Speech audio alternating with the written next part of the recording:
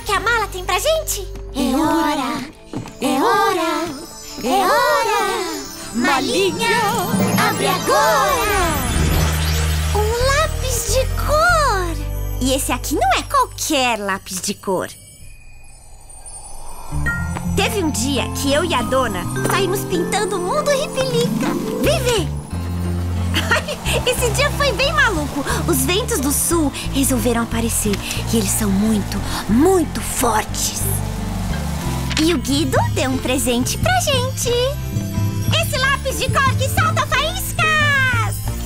E quando o lápis e os ventos do sul se juntam, coisas incríveis acontecem.